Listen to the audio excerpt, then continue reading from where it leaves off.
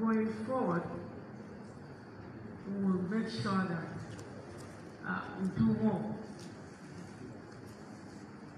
I would also like to say that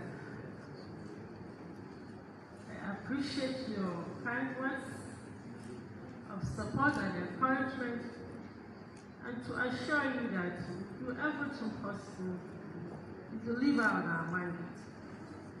Like I always say, guided by two principles. Principle of service to God, which is my conscience to my Creator, and then the principle of service to humanity, which is being driven by the passion that we have for this work. Having said that, it gives me great pleasure to welcome you all to this interactive forum our focal persons, our uh, program managers of National Social Investment Program from the 36 states of the Federation and the FCT.